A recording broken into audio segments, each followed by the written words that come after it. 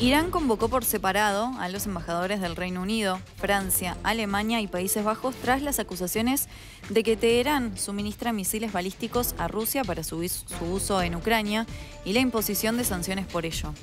La convocatoria de los embajadores europeos se produjo debido a los comunicados no constructivos realizados por algunos países europeos con el pretexto de la supuesta interferencia de Teherán en el conflicto en Ucrania.